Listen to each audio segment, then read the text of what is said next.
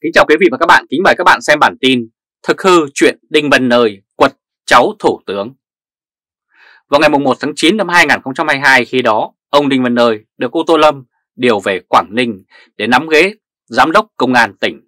Sau đó, chưa tới 3 tháng vào ngày 25 tháng 11 năm 2022, ông Phạm Văn Thành xin thôi chức tỉnh ủy viên, thôi tham gia ban chấp hành Đảng bộ tỉnh khóa 15, nhiệm kỳ 2020-2025 Trước đó, ông Thành đã xin thôi chức Phó Chủ tịch Ủy ban Nhân dân tỉnh Quảng Ninh nhiệm kỳ 2021-2026. Báo chí cho biết ông Phạm Văn Thành muốn thôi chức theo nguyện vọng để nhận nhiệm vụ công tác khác.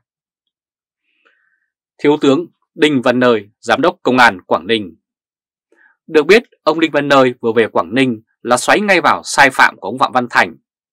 Theo thông tin của blogger Thái Văn Đường lúc chưa bị bắt, có nói rằng ông Phạm Văn Thành là cháu của Phạm Minh Chính, đương kim Thủ tướng Việt Nam. Không biết thông tin của blogger Thái Văn Đường có đúng sự thật hay không.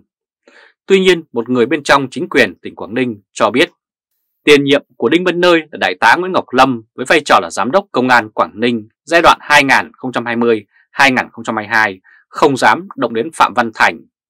Đó là một trong những lý do khiến ông Tô Lâm phải rút Nguyễn Ngọc Lâm về bộ và điều Đinh Văn Nơi đến đây.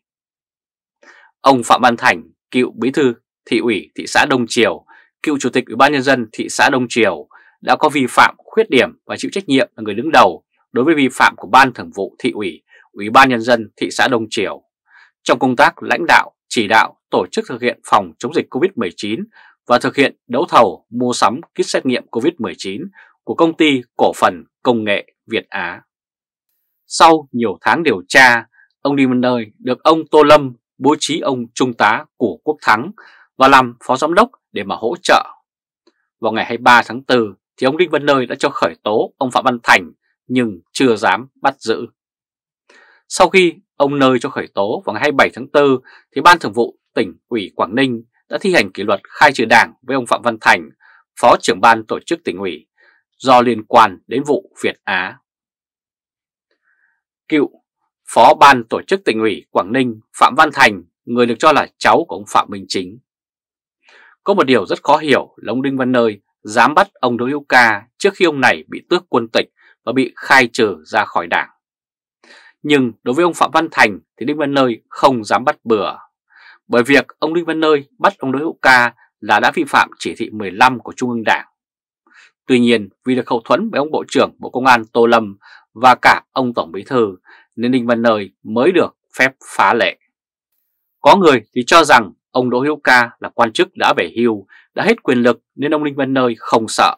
Còn ông Phạm Văn Thành là quan chức đang đương nên không thể hành động một cách khinh suất cho được. Nó rất nguy hiểm.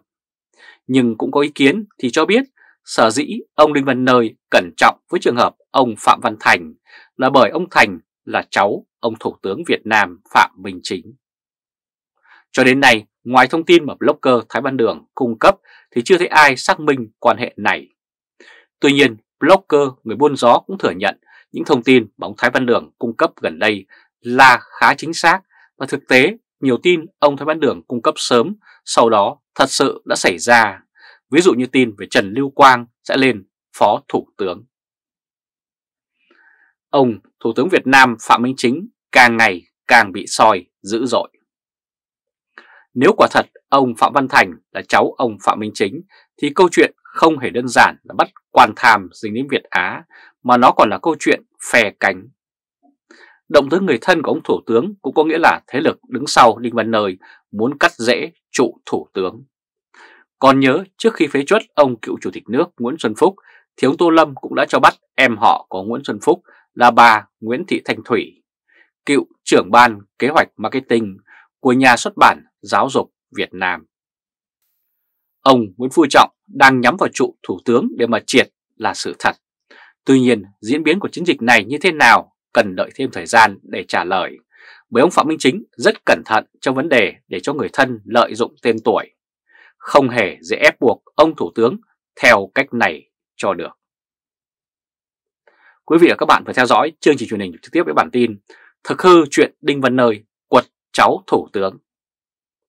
Quý vị và các bạn hãy chia sẻ video này cho nhiều người biết và bấm nút theo dõi YouTube và Facebook của Thời báo .de để luôn được cập nhật những bản tin mới nhất, nhanh nhất và trung thực nhất. Từ Berlin, Cộng hòa Liên bang Đức chào các bạn và hẹn gặp lại các bạn ở bản tin lần tới. Trung Khoa, Thời báo, chấm đề. Kính chào quý vị và các bạn, kính mời các bạn xem bản tin Vingroup quẳng núi đô vào sọt rác, kết thúc giấc mộng hoàng đường. Vào ngày 20 tháng 3 năm 2019, Ủy ban Nhân dân thành phố Hà Nội và công ty Việt Nam Grand thuộc tập đoàn Vingroup đã tổ chức lễ khởi công xây dựng đường đua công thức 1 tại Hà Nội. Lễ khởi công diễn ra rầm rộ và công việc thi công bắt đầu ngay sau đó với tổng vốn đầu tư cho phần xây dựng là 270 triệu đô la Mỹ.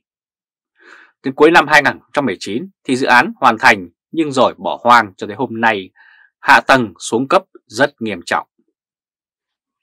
Giấc mơ F1 sụp đổ Vào ngày 29 tháng 6 năm 2021, Thanh tra Chính phủ đã có bản thông báo kết luận số 1016 về việc thanh tra toàn diện việc chấp hành các quy định của luật pháp về công tác quản lý sử dụng đất đai, tài sản công tại khu Liên hợp Thể thao Quốc gia Mỹ Đình. Trong đó có nội dung liên quan đến đường đua công thức 1 Grand Prix. Kết luận này nói rõ rằng Ủy ban Nhân dân thành phố Hà Nội phê duyệt quy hoạch chi tiết đường đua công thức 1. Hà Nội có sự trồng lấn quy hoạch, trồng lấn sử dụng đất tại một số vị trí so với khu quy hoạch khu vực Liên hợp Thể thao Quốc gia Mỹ Đình.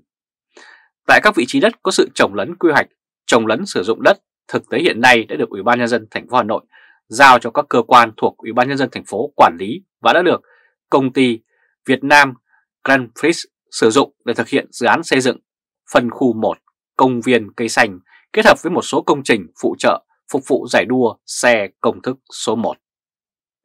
Như vậy là khoản đầu tư 270 triệu đô la Mỹ nằm im tại vị trí này không làm gì được. Đấy là vấn đề bên trong, còn từ bên ngoài thì cựu giám đốc điều hành công thức 1 cũng thừa nhận rằng sự thất bại của giải đua ô tô công thức 1 ở Hàn Quốc và Ấn Độ đã khiến ông nghi ngờ về khả năng tồn tại của một giải đua ở Việt Nam. Và thực sự dự án tổ chức đường đua F1 đã thất bại. Môn thể thao F1 là một môn thể thao nhà giàu, chủ yếu là dân châu Âu xem nhiều nhất. Giải này đối với người dân Việt Nam cũng rất xa lạ, không thể xác định được nếu tổ chức có thu được tiền lãi hay không. Bởi người cựu giám đốc điều hành của công ty công thức 1 đã có lời cảnh báo đưa ra. Hơn 3 năm trước đây, Vingroup làm lễ khởi công xây đường đua F1 hoành tráng.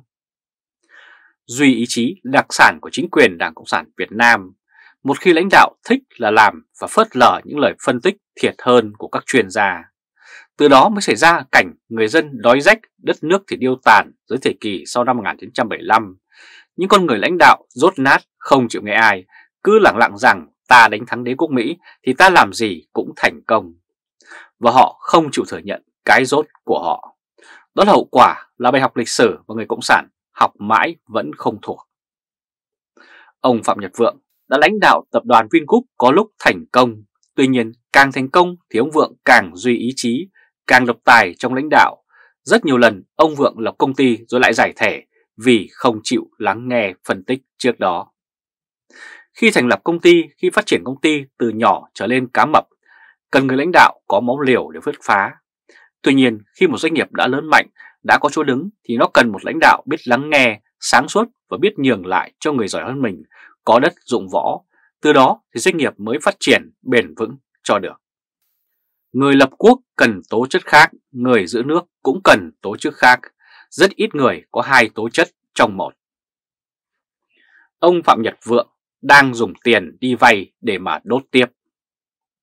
Câu chuyện về tham vọng đường đua F1 cho thấy ông Phạm Nhật Vượng đã phạm sai lầm nhiều lần mà không khắc phục, vẫn muốn đầu tư vì cảm xúc, bảo phải đầu tư chứ không phải vì lý trí và thiếu sự phân tích. Đầu tư F1 là giải quyết được khâu oách, còn vấn đề làm sao để duy trì và phát triển thì rất khó khăn, ông ta đã không tính tới. Hiện nay Vingroup đã nợ nần gần gấp 3 lần vốn chủ sở hữu. Thời kỳ của ngành bất động sản không còn là gà đẻ trứng vàng nên mọi quyết định sai lầm đều phải trả giá rất đắt. Cứ lập rồi lại vứt, cứ đem hàng trăm triệu đô la ra đốt trời thì rất khó để Vingroup bền vững cho được. Quý vị và các bạn vừa theo dõi chương trình truyền hình trực tiếp với bản tin Vingroup quẳng núi đô vào sọt rác, kết thúc giấc mộng hoàng lượng. Quý vị và các bạn hãy chia sẻ video này cho nhiều người biết và nút theo dõi YouTube và Facebook của Thời báo .d để luôn được cập nhật những bản tin mới nhất, nhanh nhất và trung thực nhất. Từ Berlin, Cộng hòa Liên bang Đức chào các bạn và hẹn gặp lại các bạn vào bản tin lần tới. Trung Khoa Thời báo .d